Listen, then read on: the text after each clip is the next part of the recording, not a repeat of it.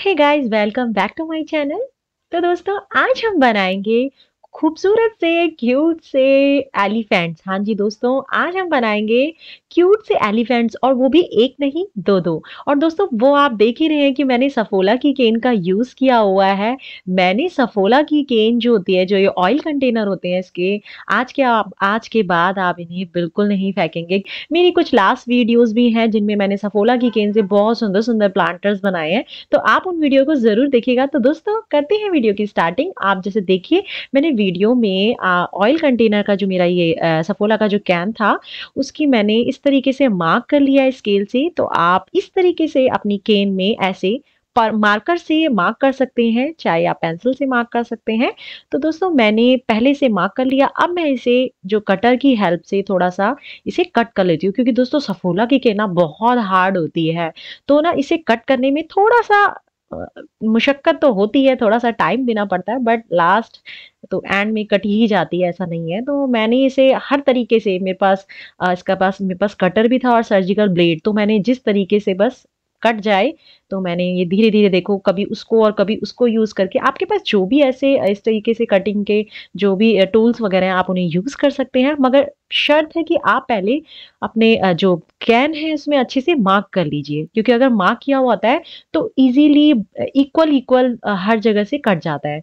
तो दोस्तों, ये मैंने सफोला की केन में अच्छे से मार्क कर लिया है, और अब मैं इसे धीरे-धीरे जो मैंने मार्क किया हुआ एरिया है, उसे कट करूँगी। तो आप भी इस तरीके से अपनी केन को धीरे धीरे आराम आराम से कट करिए। कोई जल्दी नहीं है, क्योंकि अगर थोड़ा सा भी इधर उधर हो जाता है तो वो पूरी केन खराब हो जाती है। तो देखिए दोस्तों, ये इससे हम बनाएँगे, जो ऊपर का पोर्शन है, इससे हम एलिफेंट की शेप देंगे। तो आप देखिए, मैंने सेंटर का जो था, उसे मैंने मार्क कर लिया है। इसे मैं आप कट भी करूँगी। तो आप पहले ऐसे मार्क कर लेंगे तो बहुत इजी रहेगा कट करने में। दोस्तों, एक चीज़ मैं और, मुझे में से ना ये जिसके स्टिकर्स होते हैं ना, बिल्कुल भी नहीं हटते हैं। अगर आपके पास कोई उपाय हो इन्हें हटाने का तो ज़रूर बताइएगा, क्योंकि पेंट करने में ना बाद में प्रॉब्लम होती है और ये स्टिकर्स हटते ही नहीं है। मैंने काफ़ी बार ना इन्हें हटाने की कोशिश भी की है, मगर ये प्रॉपर तरीके से नहीं हटते हैं। थोड़ा बहुत हट जाते हैं बट एक प्रॉपर तरीके से जो लेयर पूरी की पूरी बाहर आती है, वो नहीं हो पाता। अगर आपके पास कोई आइडिया हो तो ज़रूर बताइएगा। तो दोस्तों, इस तरीके से हम ये देखिए, जो इसकी सूंड का पोर्शन है ना, ऐसे धीरे धीरे आप अपनी ये जो सर्जिकल ब्लेड है मैं तो इसकी हेल्प ले रही हूँ क्योंकि थोड़ा-सा ये छोटा होता है ना, ये अंदर-अंदर तक चले जाता है। और अगर आपको इसकी ज़रूरत है तो मैं जो इसका लिंक है वो अपने डिस्क्रिप्शन बॉक्स में मेंशन कर दूँगी। अमेजोन फ्लिपकार्ट ये हर जगह मिलता है। इसे सर्जिकल ब्लेड कहते हैं, तो आप इसे देख लीजिए और वीडियो को पॉज़ कर करके आप धीरे-धीरे अपने भी अ, केन को इस तरीके से ही मार्क करके कट कीजिए। क्योंकि दोस्तों मैंने ना इस क्राफ्ट को बनाने में काफ़ी टाइम से सोच रही थी बट भैया थोड़ा-सा मैं हिम्मत नहीं कर पा रही थी। थोड़ा-सा है, मुश्किल है, मगर कोई भी चीज़ ऐसा नहीं होता कि नामुमकिन होती है। हर एक चीज़ बनती है, थोड़ा-सा टाइम देना पड़ता है। तो दोस्तों मैंने देखिए ऊपर का जो प्लांटर था ना जिसमें मैंने प्लांट लगाना है, उसे भी मैंने एक राउंड राउंड शेप देके अच्छा-सा उसको एक डिज़ाइन बना दिया और देखिए उसका जो इसे ना हम इससे अटैच करेंगे। तो मैं इसे मैंने पहले इसको मार्क कर लिया कि मुझे कितना राउंड कट करना है तो मैंने ना दोस्तों थोड़ा सा आगे को करा है, क्योंकि मैंने ना बीच में करते हैं अगर इस राउंड को तो ना ये ना एकदम से पीछे को लटक जाता है तो इसीलिए मैंने इसे आगे आगे करा देखिए आप इस तरीके से जो सेंटर पॉइंट में ना होल करके आगे थोड़ा सा होल कीजिए तो अब हम बनाएँगे इसके ईयर तो वो तो बहुत ज़रूरी है, एलिफेंट के ईयर नहीं होंगे तो एलिफेंट कैसे सुंदर लगेगा?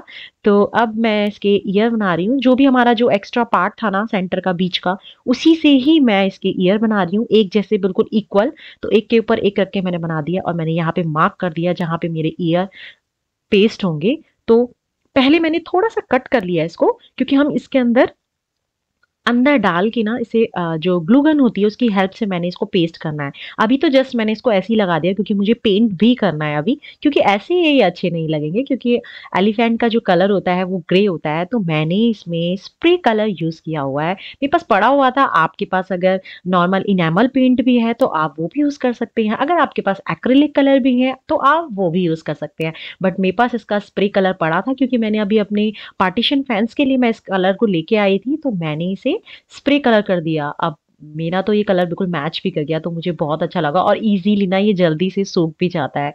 थोड़ा सा कॉस्टली होता है बट ये है कि ये अगर आप ये जो ये कलर है ये बहुत जल्दी सूख जाता है और इसकी एक अलग ही शाइन होती है। तो दोस्तों मैंने कर लिया इसमें आ, अपना ग्रे कलर तो बहुत सुंदर लग रहा था।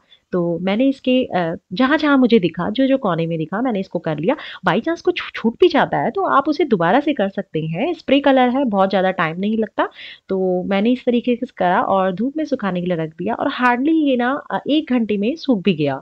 तो जो स्प्रे कलर होते हैं ना, वो बहुत जल्दी सूख जाते हैं थोड़ा सा कॉस्टली आते हैं। कॉस्टली क्या? वन थर्टी रुपीज़ का था ये मेरा स्प्रे बॉटल और मैंने अपने फैंस वगैरह में भी इसका यूज़ किया हुआ है। तो ये मैंने इसका जो ऊपर का प्लांटर है ना, जिसमें मैं प्लांट लगाऊँगी तो मैंने उसमें भी कलर कर दिया, क्योंकि वो भी एक जैसा होना चाहिए और ना बनने के बाद इतना सुंदर लग रहा था और मुझे खुद यकीन नहीं हो रहा था कि ये मैंने ही बनाया है, क्योंकि मैं काफ़ी टाइम से सोच रही थी मुझे बनाना है, बट मेरे को लगता था कि मैं इसे नहीं बना पाऊँगी, बट फाइनली मैंने बना दिया और मुझे बहुत ज़्यादा ना खुशी हुई। जब होता है ना, हमें कोई चीज़ ऐसा लगता है कि इम्पॉसिबल है, बट अगर हम बना लेते हैं तो एक अलग सी वाइब्स आती है तो वो वाली वाइब्स और मेरे गार्डन में ना इतने क्यूट से लग रहे हैं ये दोनों तो हम इन चीज़ों को वेस्ट क्यों करें? कबाड़ी वाले को क्यों दें? क्योंकि हमें उसकी वैल्यू नहीं मिलती, ज़्यादा से ज़्यादा ये एक रुपए में बिक जाएगा आपका। बट अगर हम इसे यूज़ करें तो ये देखिए बहुत अच्छा यूज़ हो जाते हैं हमारी केन्स वगैरह या आपकी कुछ भी खराब बॉटल्स वगैरह है तो इन्हें आप प्लांटर का रूप दीजिए, आपका प्लांट्स भी लगेगा और आपके गार्डन की एक अलग शो बनेगी। तो दोस्तों देखिए, मैंने इसमें कर लिया ग्रे कलर मैंने एक में इसमें फीचर्स बना दिए हैं बट अब मैं आपके सामने दूसरे वाले एलिफेंट में फीचर्स बनाऊँगी। तो दोस्तों सबसे पहले मैंने इसे परमानेंट मार्कर से मार्क कर लिया है, क्योंकि इजी हो जाता है थोड़ा सा। फिर उसके बाद मैं इसमें एक्रिलिक कलर से इसको दोबारा से इसी पे ही फिल कर लूँगी, क्योंकि एक्रिलिक कलर से ना थोड़ा सा डार्क ब्लैक कलर आता है जेड ब्लैक अभी अगर हम परमानेंट मार्कर से कर रहे थे ना तो मुझे थोड़ा सा लगा कि ये लाइट चल रहा है।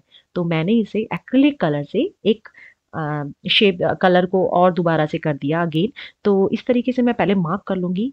तो एक पेंसिल को पकड़ना और एक ब्रश को पकड़ना थोड़ा सा चेंज अजीब सा लगता है। तो मैं पहले मार्क मार्कर से ही कोशिश करती हूँ कि मार्क कर दूँ। तो देखिए एलिफेंट के जो लेग्स होते हैं ना तो उनमें इस तरीके का होता है तो मैंने इस तरीके से इसको मार्क कर लिया। पूरा कोशिश करी है कि मैं एलिफेंट का टच दूँ और अगर आपको उसमें कोई कमी लगे तो ज़रूर बताइएगा। मैं नेक्स्ट कभी कोशिश करूँगी कि मैं उसे सुधारूं। तो मैंने इसमें एक्रिलिक कलर यूज़ कर लिया है और मैं इसी के ऊपर दोबारा से इसमें मार्क कर लूँगी कि थोड़ा सा इसका जो कलर है वो और डार्क और अच्छे से ग्रेस आए। तो ये देखिए, मैंने इसे मार्क कर लिया है एक्रिलिक कलर से। तो अब लग रहा है ना एलिफेंट और जो इसका जो हमारे जो आईज में जो वाइट पोर्शन होता है ना, वो भी मैं इसे वाइट करूँगी। तो उससे एक अलग सा ग्रेस आ गया था। तो मैंने इसे कर दिया। एक्रिलिक कलर तो बहुत जल्दी सूख जाते हैं, उसमें कोई प्रॉब्लम नहीं है। तो मैंने इसीलिए पहले वाले एलिफेंट में पहले से ही फीचर्स बना दिए थे। थोड़ा सा हेल्प मिल जाती है कि किस पोर्शन में क्या चीज़ आएगी। तो इस तरीके से आप एलिफेंट के चारों पैरों में ये इस तरीके का डिज़ाइन बनाइए। तो ये और खूबसूरत लगता है। तो ये सब मैंने दोबारा से पहले मार्का से मार्क किए और उसके बाद मैंने इसको एक्रिलिक कलर से मार्क किए। या इससे ना फाइट जब आईज में आ गया था तो एक अलग सा, जैसे ऐसा लग रहा था ये बोलेगा कुछ। तो इस तरीके से मैंने वाइट टच भी दे दिया। तो दोस्तों, ज़रूर बताइएगा आपको मेरा ये वाला डी कैसा लगा। अब ये रहा ऊपर प्लांटर अब हम इसमें कोई सा भी प्लांट लगा सकते हैं। मैंने अपने कोलियस प्लांट की कटिंग लगाई है दोस्तों। अभी बहुत ज़्यादा फ्रेश नहीं है क्योंकि मैंने कटिंग से ही इसको ग्रो करने की सोची थी। तो अभी कटिंग वगैरह मैंने लगा दी है। कुछ टाइम बाद ये भी थोड़ी सी फ्रेश फ्रेश सी लगेंगी।